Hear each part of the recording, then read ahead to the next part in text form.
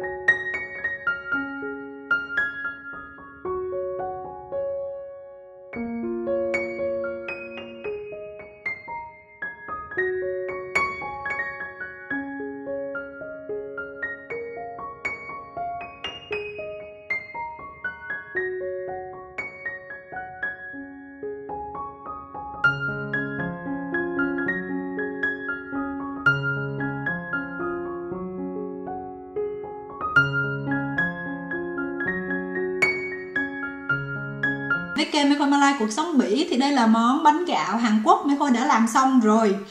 Cái mùi nó rất là thơm luôn. Bây giờ Mê mời các bạn ăn chung với Mê Khôi ha.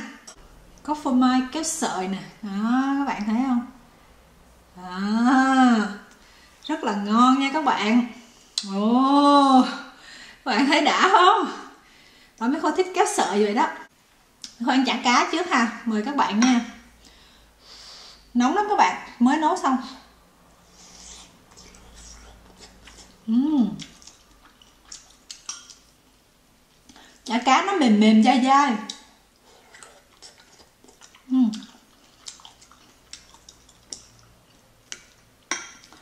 nó thấm được gia vị bên trong rồi nó dai dai mềm mềm uhm. này là bắp cải bây giờ mấy khôi sẽ lấy bánh gạo ha thì mấy khôi nghĩ là nó đã ngấm gia vị hết rồi, kìa, chả cá nó cũng ngấm và bắp cải thảo nó cũng đã ngấm rồi. Uhm.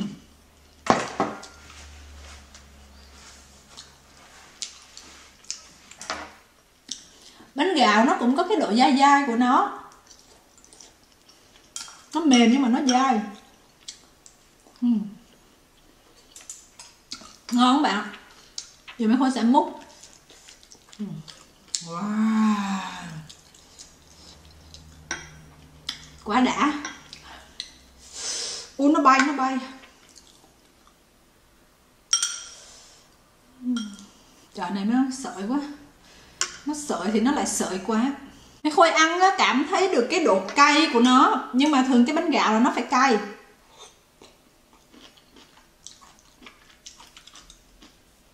Đúng bài của nó là nó phải cay nha các bạn nhưng mà bạn nào á, mà ăn cay không được á, thì đừng có bỏ nhiều ớt như mai khôi, bỏ cái ớt mà, cái ớt bột mà để làm màu thôi á. Ừ. Trời lạnh lạnh á. Ăn này ngon. Mà thấy màu đỏ nữa. Thấy không khí tết đang về.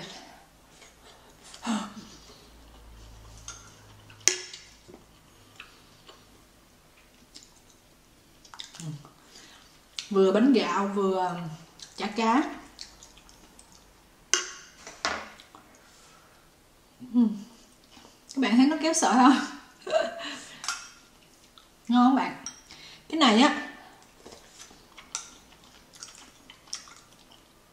mấy khôi thích ăn cái này là từ lúc mà mấy khôi coi phim Hàn Quốc đó.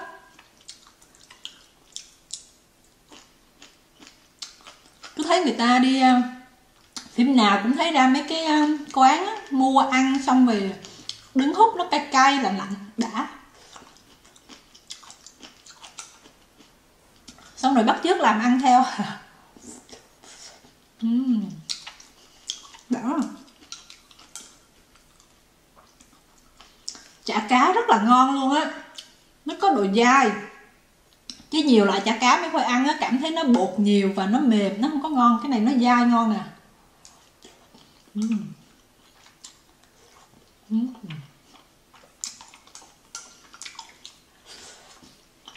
ngon quá.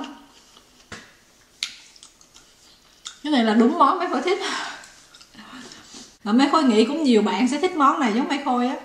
Tại vì món này à, mấy bạn trẻ trẻ rất là thích luôn. Và mấy khôi cũng là trẻ nha các bạn.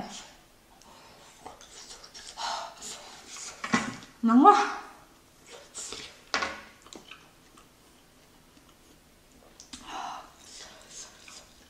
nóng kinh khủng cái món này mấy khôi làm ra thì chỉ có, trong nhà chỉ có mấy khôi và chồng mấy khôi ăn được thôi.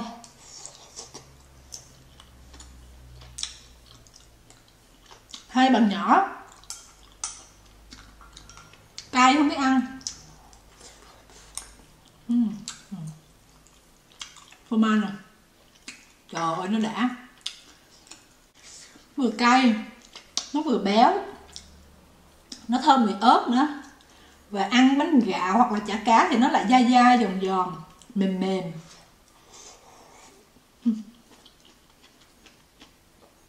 Cái này đúng là trời lạnh, ăn đã ghê luôn á. Cho nên người đại hàng người ta ăn nhiều là đúng á.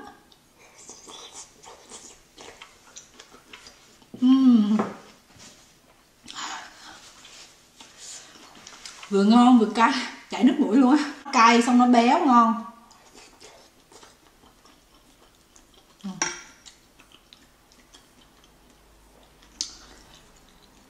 Cái điểm nó kéo sợi mệt mỏi quá, nó dài quá.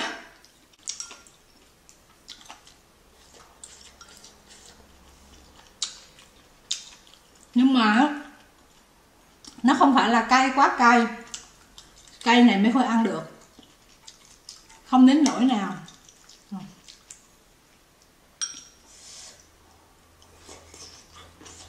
Ừ. nãy giờ ăn mà quên ăn trứng. Cô sẽ lấy một cái trứng ha nè.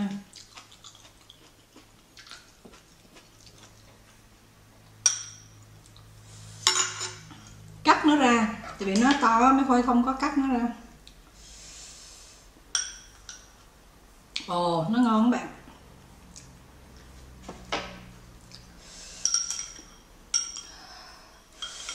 Cay thì bạn ơi ăn, càng ăn nó càng thấm nè, trứng nè. Nhìn ngon ha. Cô sẽ xoay xoay cho nó dính vào cái sốt á. Rồi ăn nè. Uhm.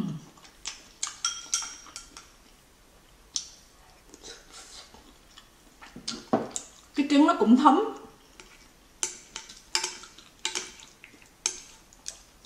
Nó cũng thấm cái sốt mà nó không có được cay lắm. Tại vì mấy khoai nghĩ là nó dài hơn. Bên ngoài nó thấm mà bên trong nó chưa có thấm lắm. Cho nên ăn không có thấy cay lắm. Cái bánh gạo ăn rất là ngon. Uhm.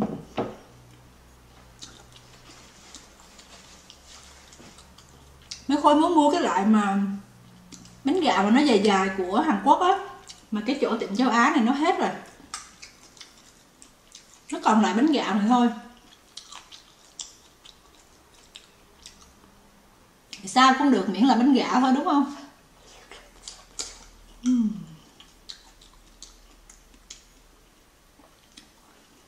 coi phim hàng xong rồi mê ăn đồ hàng nhưng mà theo cái cảm nhận của Mai Khôi á, thì người Hàn Quốc người ta ăn cái đồ, cái cái cái cái cái gu của họ ăn á, là nó ngọt và nó lạc lạc tại vì mới Khôi có ăn được mấy nhà hàng của Hàn Quốc bên Việt Nam ở Sài Gòn á.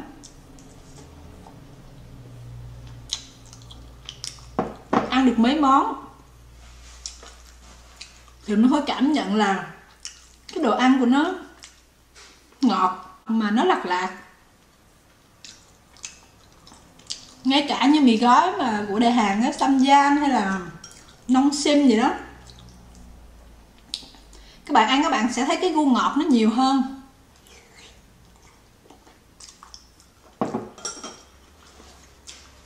Chứ nó không có đậm đà như kiểu đồ ăn của Việt Nam mình. Cái này là theo cảm nhận của mấy khôi thôi nha. Còn không biết các bạn ăn cảm thấy sao?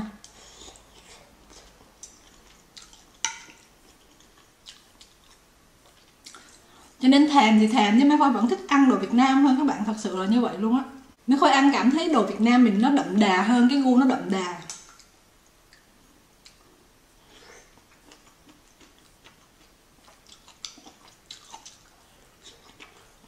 uhm. ngon quá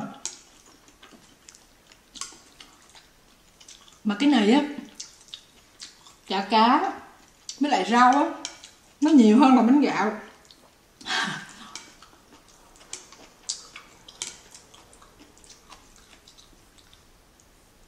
bánh gạo 200 gram chả cá mấy khôi bỏ cũng 200 gram.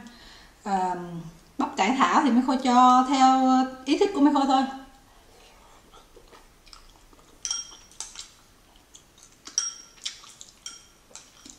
Cho nên lúc gấp đó là gấp toàn trứng chả cá với lại cái bắp cải mà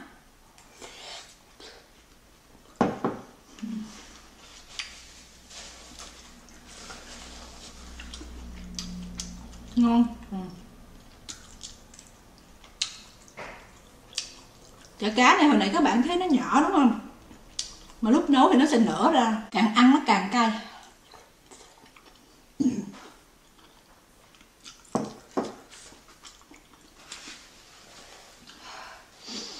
Cái vị cay nó thấm á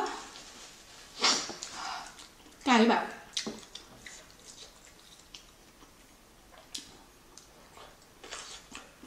Ừ. ngon quá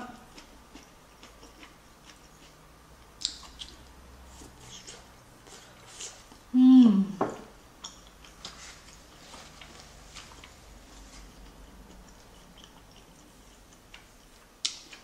bánh gạo nó dai dai nó ngon uhm. Nãy giờ mấy khoai ăn cũng nhiều nha. Hơn nửa khai rồi đó. No.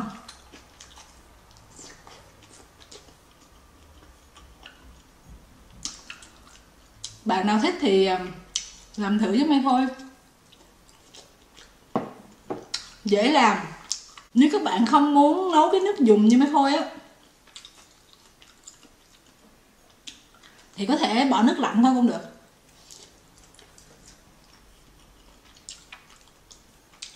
Là bỏ nước nước hầm gà tùy thôi.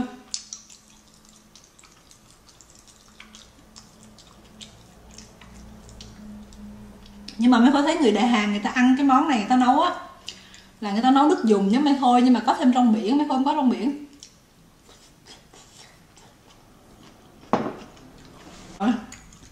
Ăn này ngon mà, nước ghiền các bạn, ăn hoài ăn mãi không muốn dừng luôn. Quá ngon. Thiệt luôn á, ngon lắm luôn á. Cái này là món bánh gạo, nhà làm. Ăn ngon khỏi chê.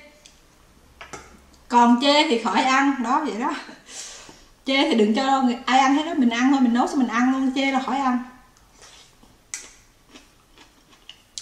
Khôi xin kết thúc video ngày hôm nay tại đây nha. Cảm ơn các bạn rất nhiều đã bỏ thời gian ra theo dõi cũng như là ủng hộ Mai Khôi. Nếu các bạn thấy thích hãy nhấn nút đăng ký kênh cũng như like, share và để lại bình luận góp ý cho Mai Khôi ha. Bây giờ thì xin chào hẹn gặp lại các bạn ở những video tiếp theo. À biển tôm.